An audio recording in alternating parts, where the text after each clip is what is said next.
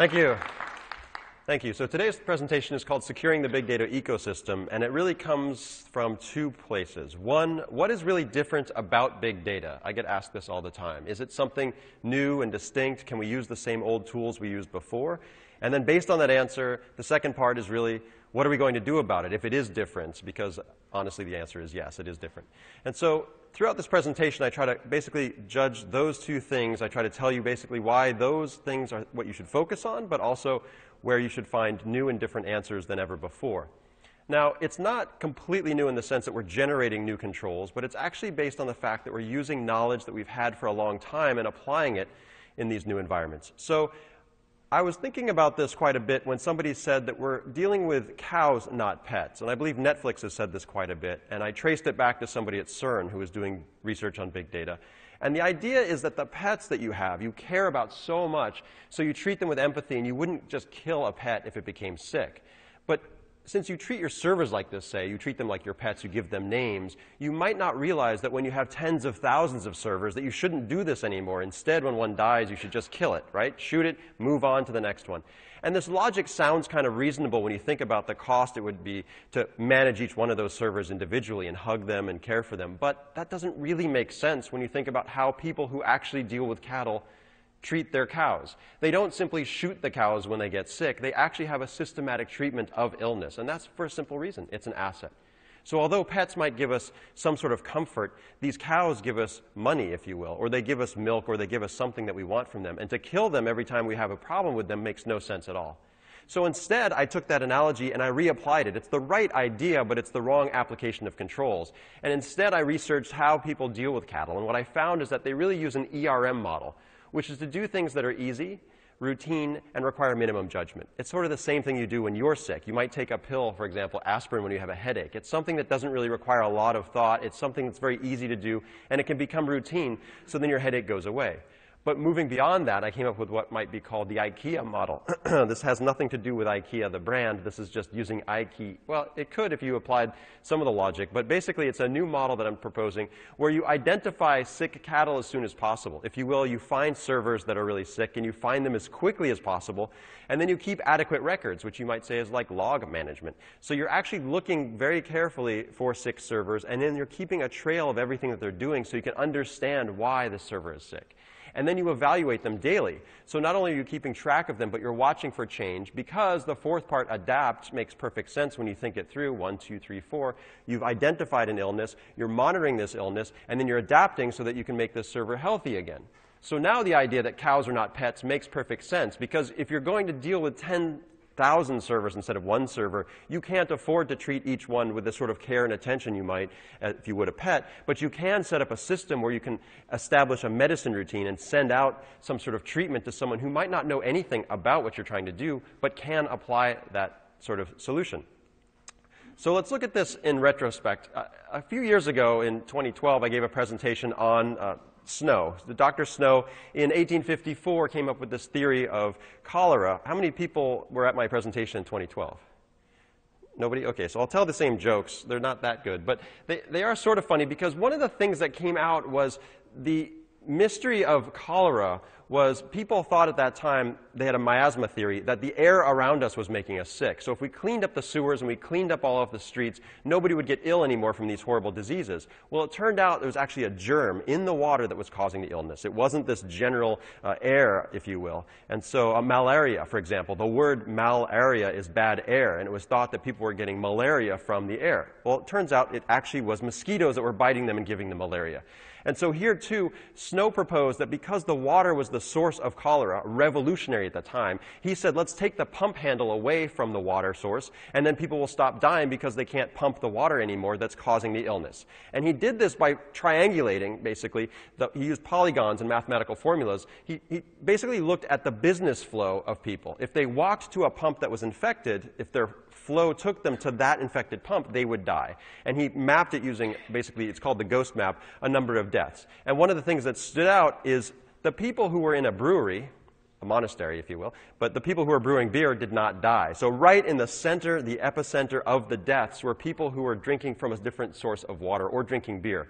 And so sometimes it's not the deaths we're looking at, it's the absence of deaths. So, I proposed in 2012 that we use this model, and today what I'm doing is extending that because what we found in 2012 is an anal- analysis of data breach investigations showed us that you could actually look at the source of an infection, and then you could observe the data points where that infection was spreading, and therefore come up with a, a, map. If you're looking at the total sum of all the data in your environment, if you're building essentially a lake of data, then you can figure out very quickly where the source of infection is coming from. This is different from endpoint monitoring, where each individual endpoint, if you will, the cow, has to know whether it's sick or not and report, I'm sick, please help me. Instead, you're monitoring behavior across a wide expanse. A cattle you know, ranch would look across all the cattle and notice behavior changes in one of the cows, and then say that one is infecting other ones. Now we have to quarantine them and look at them in a different way than before.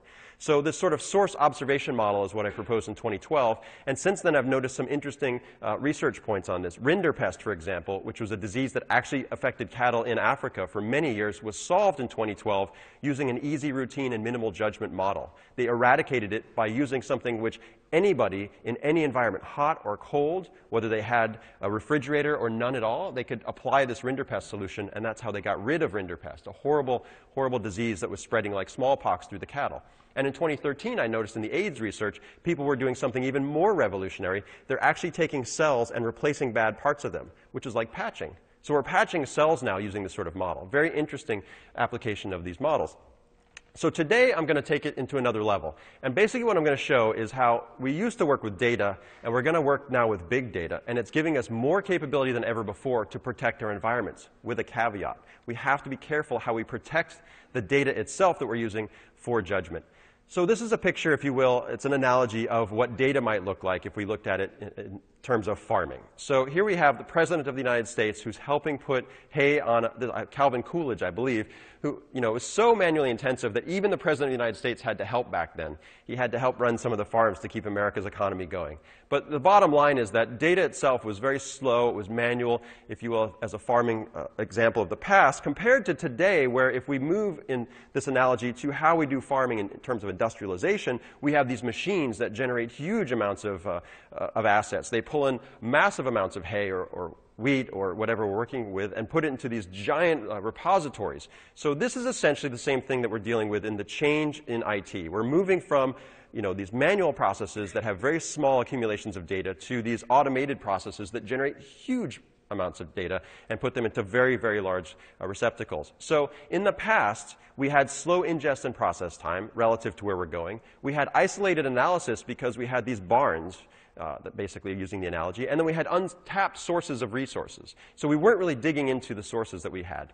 So we're moving into big data by doing much faster ingest and process times. And we're creating these huge data lakes where we can move all the information to one place and then analyze it properly. And then finally, we're getting better access to sources because if you use a trusted model, then you really have the ability to go in and look at absolutely everything. You really have the ability to pull in data from anyone in the world, essentially, if they trust you with their data. And once you have that access, you can do far better analysis. So the top concerns, believe it or not, are moving in this direction already. CIOs realize that big data problems and security are at the top of the list. And the things they're looking at particularly are what they should collect and how to analyze that data. So I can tell you very quickly that what you should really be, what you should really be looking at in the era of data industrialization is, in terms of what to collect, how to move from streams of data to lakes of data, how to save all the data. The CIA calls this saving everything because they say in the future we may want to make correlations between data points. You can't do that if you don't have the points. So everyone everywhere is starting to collect more and more data and try to figure out how to keep it for as long as possible. And then indirect communication is very important because it essentially says that even though two endpoints in an Internet of Things, for example, when you have billions of devices, even though they're not talking to each other, there may be a relationship through other devices that is still relevant. And then finally, how to analyze this. We're looking for indicators of opportunity. In business, of course, that's self explanatory. But in security, we're looking for leak, tampering, or loss. And then perhaps the most important concept is when you do analysis, you have to assume that the anomalies you're dealing with are never going to be alike. So instead of looking for, you know, the, the needle in the haystack where you're trying to see this one thing that always pops up, It's actually the opposite. You're looking for the needle within the needles. Even though they're always different, they're also the same. And so you're trying to look for things that make something stand out while at the same time blending in. It's sort of like the snowflake within snow. All right, so why don't solutions that we have today fit? And basically, it's because we have two options. In the big data world, when you move from 1,000 servers to 10,000 servers to a billion servers, if you talk about Internet of Things, or 26 billion by 2020, you have two options with the data. You can control the data, or you can de identify the data. And both of these solutions are fraught with peril. And I'll explain to you why. It's pretty simple, really. It's because once you get into massive data sets, it becomes easy to figure out who somebody is. And in 2000, we had this very excellent example from Latanya Sweeney, who said basically, if I can get the birth date, gender, and zip code within the data sets of a particular individual, I can identify that person exactly. And she did this for the Massachusetts governor. She paid $20, and she was able to find this person just by looking at a couple data sets. But even more interesting, in 2014, we find that for $22, you can find out who your neighbor is. I mean, you can really mine their data and find out the opposite. If you already know who your neighbor is, you can find out everything that they're doing. So what we're seeing is that the de-identification hurdle is continuing, and we need better controls and better tools there. This is one of my favorite examples because it really talks about how the metadata or the wastewater or the shadows or the things, basically the exhaust coming out of our daily behaviors is being reverse engineered, analyzed back to figure out what we're up to. So 1.5 billion gallons a day in Chicago is wastewater, and it's coming out so that we can tell you know, how the environment is being treated or whether we have disease or drugs. We're trying to do it for good. But we can also do some reverse engineering to figure out exactly how people behave. So if you look at the number of people in an area and you look at their wastewater, you can tell that they're taking a type of drug. Now you can go and look at the research that tells you, for example, the prescriptions people have, and you can see these are the prescriptions they have, and these are the drugs that they're taking because of the wastewater. There's a gap between those two things. Somebody is actually taking drugs they don't have prescriptions for. So you can do this across all these cities. This is an actual research project that shows you that in Croatia you have heroin. In Italy, most people do take marijuana. In Finland, they do amphetamines, and so forth. It gives you a very different picture, perhaps, of cities than you might have seen in most tour guides. All right, so let's talk about the other side. The de-identification is hard. We're working on it, but it's not there yet, and it's something we need help with. On the other hand, we have controls. We're going to try to get rid of the vulnerabilities in our environment, and that's really the genesis of this talk. The problem is we want to use authentication, authorization, and encryption, but what's typically happening in big data environments is they're just using a perimeter and saying access is only to authorized people.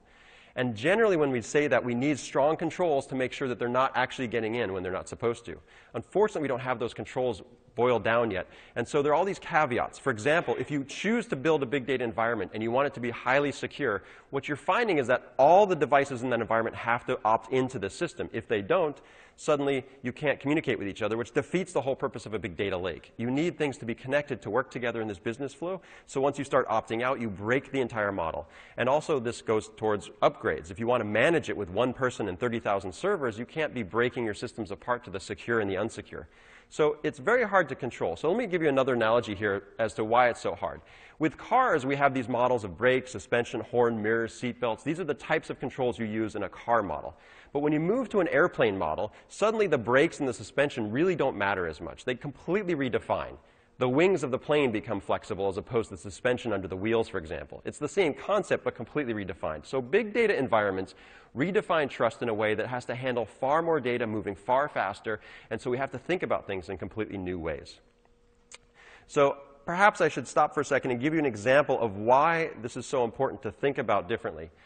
Often in the debate today in, in security in the industry, we talk about checklists not being enough. PCI controls not saving us from card breaches. But in reality, we're not going to move away from checklists. Instead, what we're going to do is make checklists apply to things that they're good for while creating a new section of the industry where we're going to do threat analysis, intelligent analysis. It's just like when you launch a plane, you do a checklist to make sure the plane is safe for flying. But when you encounter a threat, you're actually going to use an intelligent pilot to figure out how to do a dogfight or how to engage or how to fire missiles, right? Two separate pieces of the equation. Checklists are not going away. We're going to use them in ways that are going to benefit us in the big data environment. And if I look at that threat analysis in terms of a scale, I would say in the beginning you might do bad good analysis. Then you start to rank them by saying bad, good, and ugly. Eventually, we get to a meaning based scale, which is really to say this is hot and this is cold, and we can start to visualize it. The next level, zero point, is like saying if we don't respond to this risk, it's going to cost us $50. So these are ways that we can move up the maturity scale to get better at analysis. And a lot of people seem to confuse the checklists with the threat analysis, and they say because the checklist doesn't work, get rid of it completely. I believe that's an erroneous approach. So what I'm saying is that we're going to move to an environment where we build essentially an engine that pulls in all of this data, and we're going to do some sort of taxonomy in real time to figure out whether or not something's a threat. And if we can use that heat map, you can see here, to visualize not just good, bad, but on a continual scale, thousands of, of data points from, you know, whether that person has done something before, whether that person's coming from some place that we've seen them before, whether that person's using a device that we recognize. And we can begin to map it to cost using a GRC model. So that takes us to the next level that says if we don't do something about this, we'll go out of business. It's sort of like stopping cars on the street. In a basic model, you know, the model is that you would say, this person's coming at certain speed, this person's coming at certain speed, so we'll put a light up because we can't figure out who's going to win that battle, and we'll just make one stop and let the other one go by. This is a terrible security model. Instead, if we use a model where we can intelligently decide who should pass, then we can build these lights that essentially allow cars to move very quickly by each other, the same way people walk. You don't have stoplights for people walking because they can anticipate each other and they can move around each other quickly. So in that sense, we're going to be building a new architecture and use case. These are the waves of technology that are moving into the big data space. So we have operational technology, we have insight technology, and we have actionable technology. And we're going to use that by looking very closely at the processing environment that's used for big data analysis. Essentially, right now, the processing environment is wide open. So if you build a Hadoop-like environment, it is very difficult to put the type of controls we had in an enterprise environment into these big data environments. And it, you see the layer on top of it are basically the queries going in and out. For those queries to be effective and actually make sense, for us to decide how to solve a, a crisis, for example, or solve a disease, we have to trust the data underneath. So let's look at the processing environment a little more closely to see about the controls we can put in place. So here's basically how we break down a Hadoop environment. We have tasks and we have data. And the tasks run on the data to give us results. So we have job trackers and name nodes. And I don't have a ton of time, so I'll just sort of show you some of the advances that we're making. One is that we can actually literally have one administrator running 30,000 different devices because they're able to build redundancy across these devices. One of the flaws, though, is that the name node, for example, can fail, and when the name node goes down, it can take hours for it to come back up. So this is an availability concern. So what we're doing is building an architecture that allows you to have real-time, like synchronous uh, name nodes so that there's continuous availability of the name node and the systems don't go down anymore. So even though Hadoop was designed around high availability, it still has critical flaws within it that have to be addressed. If we look at processing paths, going back to the cow analogy, there are many places that you should be looking for dying cows or sickness within your environment. Each one of these skulls represents a place that there's potential risk. And you need to be constantly monitor them, monitoring them and looking for signs that you can fix or understand better why somebody might be attacking those places. So I don't know how many people have seen Blade Runner, but one of my favorite parts of the movie is that the idea is that the Blade Runners have to stop robots that have run away. They're called replicants. And it's not called kill them, it's called retire them. So if you look inside a Hadoop environment, we actually have the same problem we have these clients that are using Kerberos authentication to make sure that they're trusted. But once the client has the Kerberos authentication established, it then actually has a relationship with jobs and data. And it hands off that responsibility the same way in Blade Runner the humans handed off responsibility to replicants to go do the dirty jobs on foreign planets. They were essentially these miners and these soldiers. Well, inside the Hadoop environment, once you give a token to a task tracker because you trust it, it can spawn another job and it can go on forever doing whatever it wants. So unless you have the ability to go in there and kill jobs, basically you become a blade runner, you can have jobs doing things you don't like forever, or they can stall, or whatever. So I have actually found data scientists going in and, like Blade Runner, trying to find jobs and kill them inside their environment. This is not a good sign if you're going to trust a big data environment because you have people with a lot of authority doing a lot of bad things just trying to keep track of the robots that they've created. So this is why I'm saying we need new and different ways to manage risk in a big data environment. It's really like saying data is the new center of gravity. When big data gets truly big, everything centers around it. All of your social apps, your mobile apps, your cloud environment is all working around these big data environments. And we need completely new, completely new ways of thinking about it. And so I thought about it in terms of what Einstein used to say. Here he is working on his string theory. You can see him uh, thinking deeply about the problems of the universe. But basically, he says, you know, trust is redefined when you think about Newtonian uh, gravity because Newton was basically saying things are pulled into the earth because of this sense of gravity. And Einstein said, actually, it seems more the opposite. It seems more like if you put a bowling ball into the center of a trampoline, then all these things start to get pushed into the bowling ball. And this is essentially what's happening with these big data environments. What we're finding is that the more data you accumulate, the more the data that you've amassed, the de-identification isn't going to save you. The controls might not even save you. Things are going to be moving towards you because you are the central source of asset value. And so we need to think in those sorts of big terms rather than thinking about how we can create an atmosphere, for example, that's safe or a perimeter that we trust. We need to think much larger about the entire universe and so, in that sense, the sorts of architectures we're building are more like this, where we build a command center that's looking at the much bigger picture. It's looking into how to make the relationships between the endpoints smarter and safer and give us better feedback. And so, hopefully, we can build those two parts of the equation where we have very simple and intelligent, uh, very, sorry, very simple controls on the endpoint, where we can make sure that they're very routine and they require minimal judgment. And at the same time, we can have a big brain on the back end that's intelligently monitoring everything and coming up with new solutions. So, how can we solve Rinderpest? How can we solve cancer? How can we come to better conclusions and then push that out to our uh, endpoints so that they can do things more efficiently. So this is why I call it intelligence-driven security, and this is why easy routine and minimum judgment, essentially checklists, are not going to go away. And that's hopefully how you can see to secure a big data environment in a completely new light, different from how we've been doing the enterprise. Uh, essentially, you'll have happier cows if you use this method. Thank you.